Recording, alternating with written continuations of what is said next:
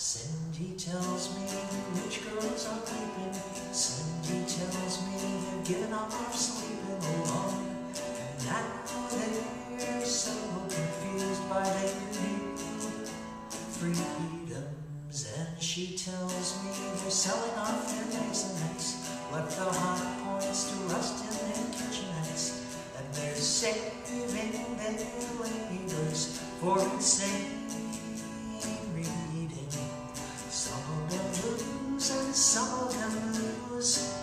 That's what they want, that's what they choose. Cindy, tell me, what will they do with their lives living quietly? Like laborers' wives, perhaps they'll reacquire those things they've all disposed of. Do the hustle.